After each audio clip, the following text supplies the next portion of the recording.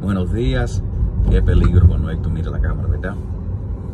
Feliz lunes. No sé qué día es esto cuando están viendo este video, pero hoy es lunes y um, quería reflexionar a veces porque a veces nos encontramos con personas que, son quizás un poco negativas al Evangelio o cuando tú le hablas de Dios o de Jesús.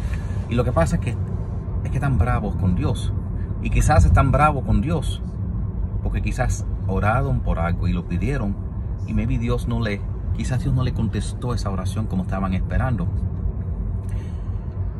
Es como, mira, el libro de Eclesiastes dice, hay un tiempo y un momento para todo bajo el cielo.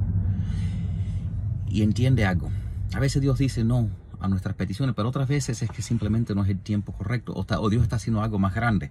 Es como, por ejemplo, al principio a un niño se le lee de un libro para acostarse un mil. Pero llega el momento que, el, que en vez de la mamá leerle al niño, llega el momento que el niño le lee el libro a la mamá.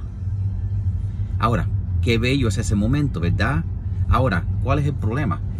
Para que el niño llegara a ese problema, a ese punto en su desarrollo, la madre tuvo que empezar no siempre leyéndole el libro. A veces tenía que decirle, mira, sígueme las palabras con tu dedo y después trata de leer estas palabras. Y a veces si el niño se trababa, no inmediatamente se la leía. Le dice, trata, trata, ¿cuáles cuál son los sonidos?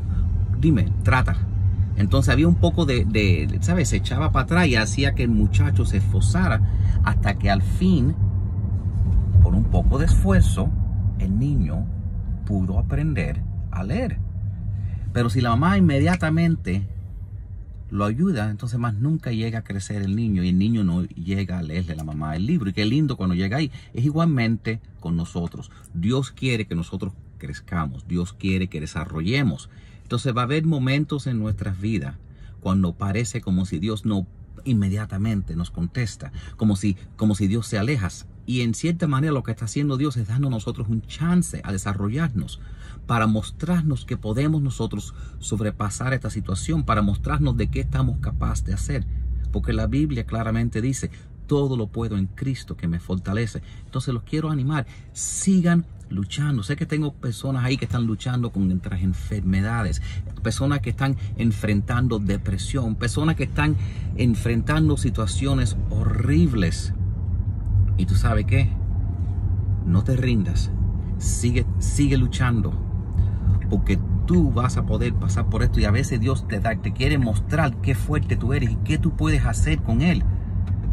No te rindas porque cuando tú llegues al otro lado de esta tormenta que tú estás enfrentando en este momento, tú vas a poder ayudar a otra persona y decirle, tú puedes, yo pude, tú puedes también. Entonces, te quiero animar, sigue luchando, no te rindas, siga confiando en Dios porque tú sí puedes, todo lo puedes en Cristo que te fortaleza para que el, al otro lado, igual que ese niño, hay una celebración, ay, el niño puede leer, pero recuérdate, el niño tuvo que esforzarse por largo tiempo y quizás Dios te está dejando esforzarte a ti ahora porque te quiere crecer y te quiere ver hacer grandes cosas y quiere que tú seas una bendición para otros.